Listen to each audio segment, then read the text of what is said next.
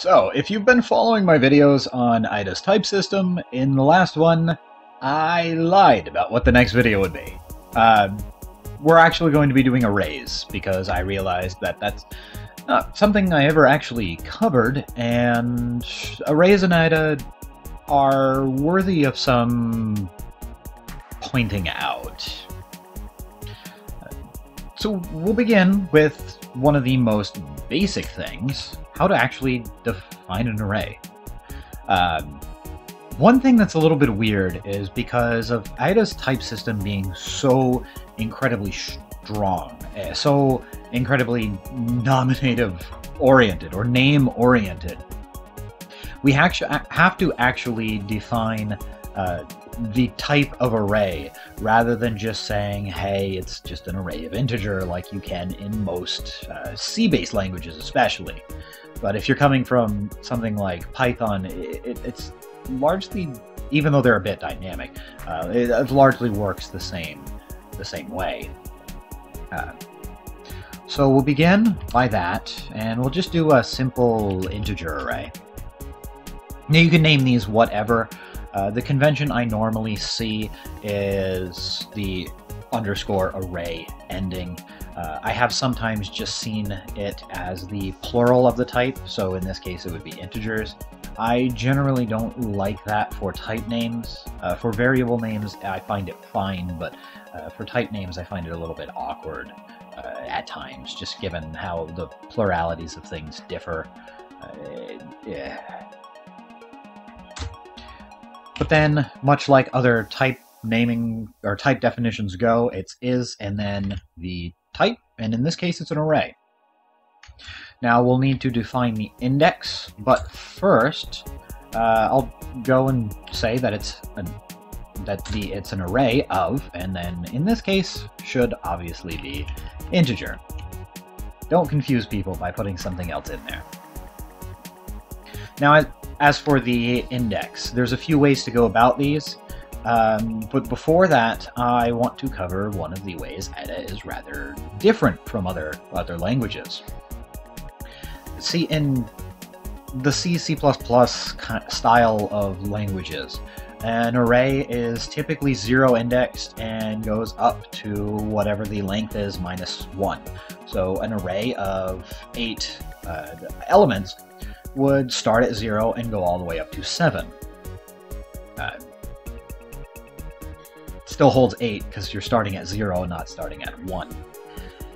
In Ada, it's a little tricky because of two things. First, you don't actually have to index by an integer you can rather index by any discrete type. So that would be integers, modulars, and as far as indexing purposes go, those would work the same way. Uh, but also enumerations. You can index through enumerations, which can be really handy if the different places in an array have some type of specific uh, meaning rather than just some numerical position. Uh, this can be really useful for things like uh, hardware addressing, uh, where you have, say, a bunch of pins with specific names, have an array that represents the entire set of pins, and you can actually use an enumeration to in, uh, to reference the specific pins rather than have to look up what number uh, each each thing is, and then pass the thing the, the, the full set of the array uh, into the pins. Um, not all not all interfacing the specifications work that way though. Sometimes you just have a specific pin, but I'm not getting into hardware standards. Um, we'll begin with the simplest one of just indexing by a, not by just by a number. So we'll do integer and we have to specify a range for this, because um, again, Ada is really strict about these things. Uh, and at first, this might seem a little alarming because, like, well, what if you want a very generic thing? Like, integer arrays should be of basically whatever length. Um, I'll cover that in just a moment. I want to get the fixed size arrays first. So let's do uh, integer range, and then 1 through uh, 8. Does look like I need to fix that with the syntax highlighting. Okay. Uh, from there, we can define the array. So I terrible with example stuff, so I'll just do IA for integer array. And let's say that it's an integer array. And we can go ahead and start defining this. Now, um, much like with the record aggregates, uh, array aggregates work very similar in that if you don't specify exactly what value is where, it's assumed to be positional. Uh, so for arrays especially, this actually makes a lot of sense, and you typically don't need to uh, define the exact position of values going in. You can just go with the standard, uh, just, just write it out like normal. Uh, so we'll match these up exactly. 1, 2, 3, 4, 5, 6, 7, and 8. and just to make sure I'm not being an idiot with anything, because that happens. Let's try to build this.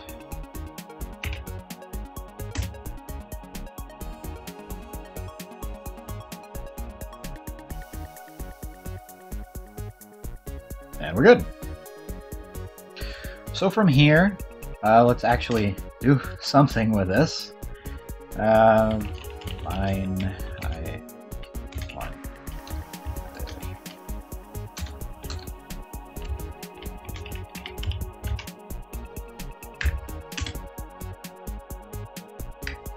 Oh, right, because this will be returning in uh, an integer. So let's get the image of it.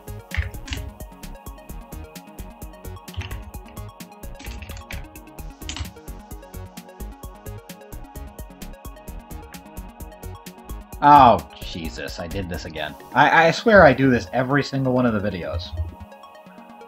oh, in the background. Oh, cool, it's not responding when it loads. That's cool. You good? You good? Go away.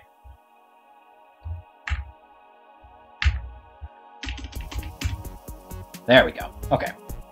So we get the 1, which you'd expect, because we said that the uh, array is indexed from 0 to, or from 1 to 8, rather. So the first 1 would uh, obviously uh, correspond there. Uh, if we were to change this, just to show what I'm talking about, uh, change this to from 0 to 7 in more like C-style indexing, we can go ahead and build this again, and Oh my god.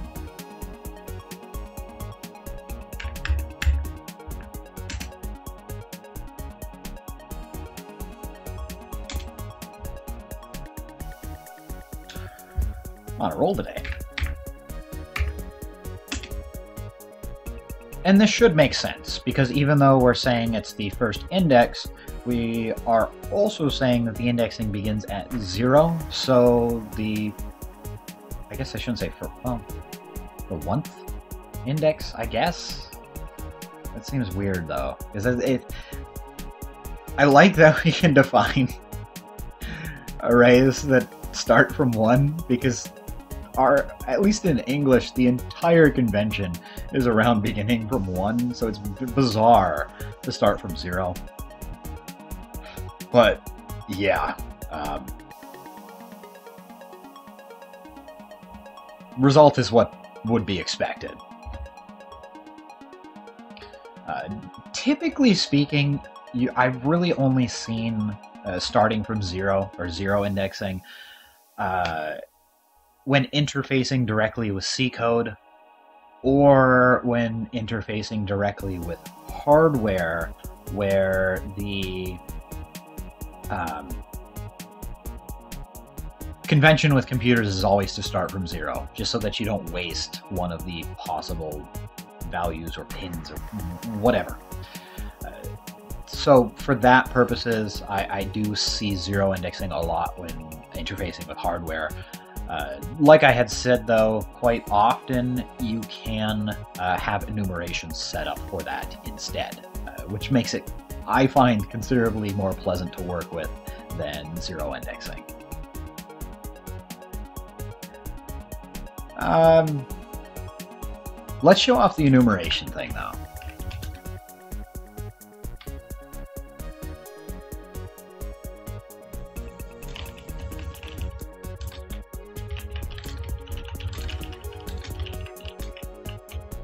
And we'll just do four of these, but let's do... And I think this will work. I don't remember if I need the range clause for numeration. I don't think so, though.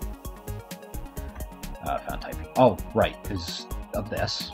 So let's change that over to first. Build that, and okay run that, and this should, again, make sense. The first part of the positions index, and the first part of the array, everything lines up. Uh, going back, though, because you'll notice I didn't actually have to specify a range or anything for this, if we wanted to do a similar idea for integers, where uh, it just sort of covers all of the integer, and it is going to complain about this. I, I just want to be clear. Um, what it's complaining about is that when we say that the array is indexed by integer, uh, we're saying, well, really for any type, but we're saying that the array contains an element for every single index of the range of integer which is huge. Uh, we're talking everywhere from, what is it, negative 2 to the 31st power all the way up to 2 to the 31st power minus 1, at least on the x86 line of processors. It's a ridiculously huge range. Nobody in their right mind would write out values for all of that. Uh, and typically speaking, you don't want that whole range anyways. Uh, you can pass subtypes to this. And one really easy way to show that, although it'll still complain, is if we use the positive subtype. Where as you can see, that's still valid. It's still complaining though, because positive would be everything from 1 all the way up to 2 to the 31st power minus 1. Uh, we can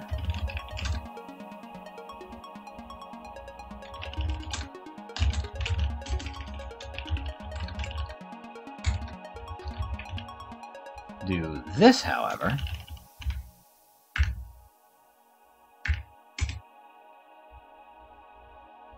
it's still complaining this time, but it rather because it only wants up to 10. Now, it doesn't complain at all. This still isn't very useful for what most of arrays, at least that I've seen, get used for. Uh, I just wanted to show that off, that, that you can uh, have the range defined elsewhere, that you can define a sub-range uh, either inside the type definition or as another subtype. Uh, which you do depends on whether or not you need to reuse that range for some reason. Uh, if you do want to reuse the range, use the subtype. Where we get into the much more practical array uh, definition is with integer range, but an unspecified range. Now you should recognize this if you watched the last type system video on records, where this sort of this, I think they call it a box. Honestly, I don't even remember all that well what they call it because it's just sort of a generic placeholder. Like, I don't really know or care what this is right now. And... Oh. Nope.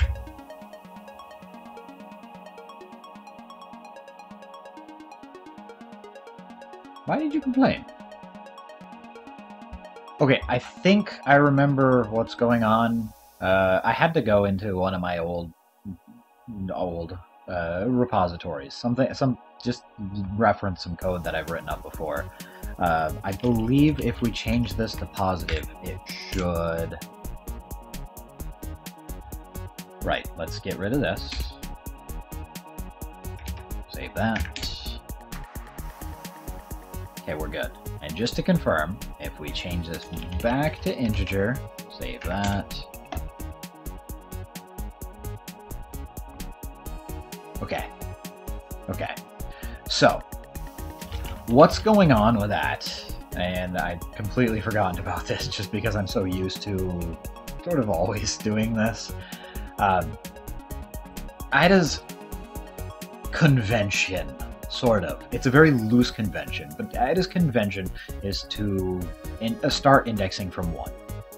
So when we say that it's an integer range of whatever, it gets confused, basically.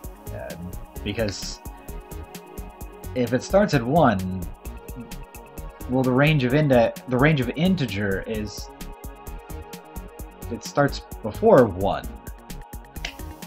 So get in the habit of using positive and then the sub range, or at least in this case, it isn't a sub range, you're just saying what, whatever is fine. What it'll do is for something like this where we're passing an aggregate, it will set up the index, uh, the, the range, from 1 up to whatever is required to hold this. So in this case, it will be 10 automatically.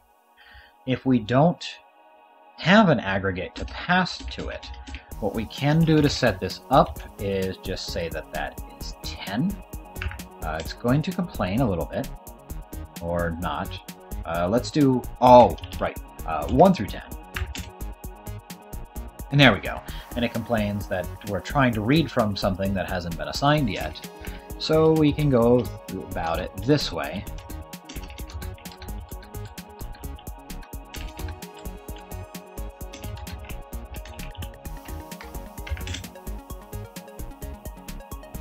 And there you go. We run this. We get the expected result. Another thing to keep in mind, because this is, and this applies to a lot of values stuff aside from arrays, but I, I do want to make a point of this here because it's very relevant. In, again, with the C-style languages, a value is more of a reference, or uh, the, the name of the, the, the variable, rather, is a reference to a value, and when you assign uh, in those languages, you're changing what the variable refers to. Whereas in Ada, the variable does not refer to something, but rather it is that value. That's why I, in when I talk about Ada specifically, I tend to use the two interchangeably because they they are. What we're saying here is that IA is this thing. Not that it refers to that, and that value is somewhere tucked away in the computer, but that it is that thing. So if we reassign this,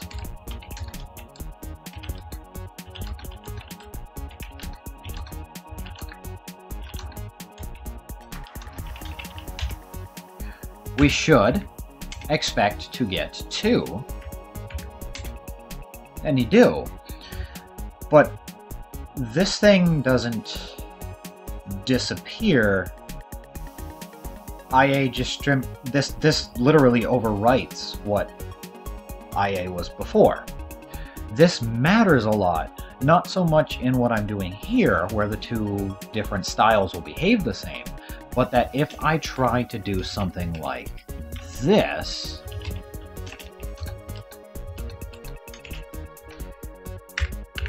it will fail. Because as I had said, it doesn't just start referring to something else, it tries to be that something else. And the length of this array is only 5, but the the IA is said to be an integer array of 1 through 10. So there's five values missing here that the compiler is rightfully going to complain about.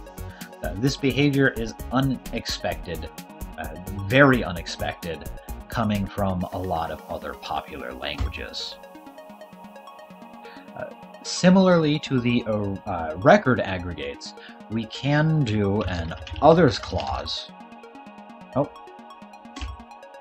not two commas though. Where we specify something. Now it's not going to complain anymore because it knows what to fill in the other values with. It knows the length of the array, and so therefore it knows how many values it needs to fill in.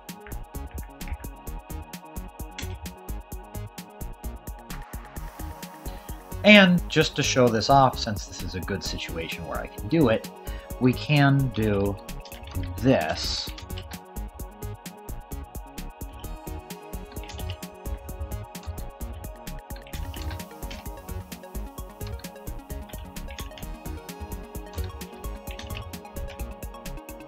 So you'll notice that, unlike with this array, in this one, the very first value is actually going to be 0, because we never specified the first, so it's going to use the others clause.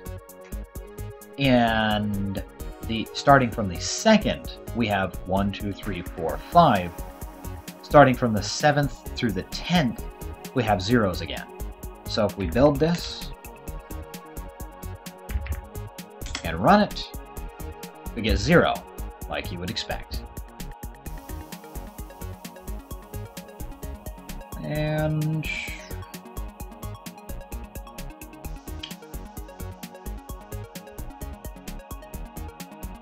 think there's one more thing I can show off. I'm not sure if this applies only to strings, or if this is something that's actually defined for arrays in general. Uh, I will find out. I've never actually tried to do this with just like standard arrays. I've always only ever done this with strings, but strings are uh, strings are not special in Ada, much like characters are not special in Ada. Uh, strings are quite literally just an array of characters. So this, unless it's something that's specially defined for them only, this should work. We'll find out. Let's do, alright, just do IB. Uh, we will need to define these though. And I can remove the index, it's, that's fine. So we do one, two, three. Array, and we'll do four and five. Then we do IC is an integer array. And we're going to try concatenating these. I'm gonna try typing right though. That that kind of needs to be done first. Do I oh I see I see. Uh, it does work. So this is possible only because the the range is not predefined. So for IA, the range is calculated to be 1 through 3. For IB, it's calculated to be 1 through 2. And for IC, because it knows the range of IA and knows the range of IB, it can add them up together, uh, know that the range needs to be 1 through 5, and then just pack all the values in appropriately. And we get the correct result. If we switch these around, you would expect the array uh, to be 4, 5, 1, 2, 3, and if we run this, you do get the expected result again. So, like I had said, arrays are mostly pretty standard in Ada, but there are a few quirks due to how assignment works in Ada, as well as Ada's very flexible approach to array indexing, but also very uh, aggressive approach to strong typing that warrant some pointing out of these differences. Hopefully you found this video helpful. If you have, consider giving a thumbs up and also consider subscribing and the notification bell because, yeah, YouTube. Lovely. Have a... Oh, I hit myself in the eye. Have a better one than I'm having.